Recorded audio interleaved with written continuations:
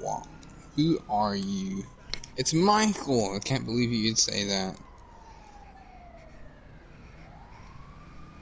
You.